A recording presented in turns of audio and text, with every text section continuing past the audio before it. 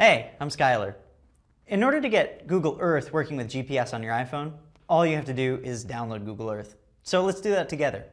Press your home button and slide to unlock. Go to the App Store. I've got mine in a folder. And from the App Store, search for Google Earth. There it is. I've got it installed, so mine says open, but yours will say install. So I'm just going to tap open, and it brings us to Google Earth. Google Earth will load up, and it should actually find our location right away.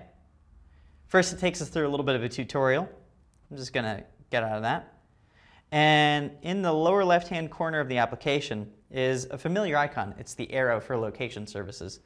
So I tap that, and it asks if it can use my current location. I allow it, and we see Google Earth slowly zoom in on my location because I have an iPhone 4.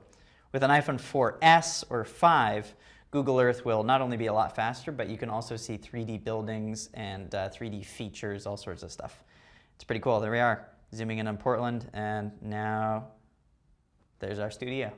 Thanks for watching. I'm Skylar.